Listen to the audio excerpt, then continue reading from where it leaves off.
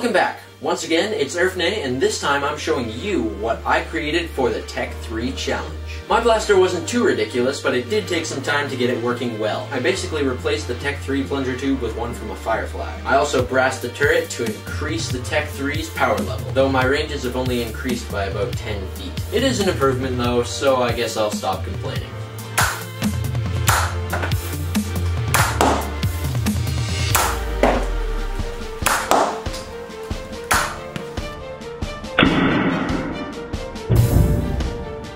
Overall, this blaster is somewhat underwhelming for the amount of work that I put into it, but sometimes it's about the journey and not the destination. Anyway, thanks for watching today's video, and you can stay up to date on my projects on Facebook and Twitter, and I also got an Instagram account, whatever. But, thanks for subscribing, and I'll see you next time.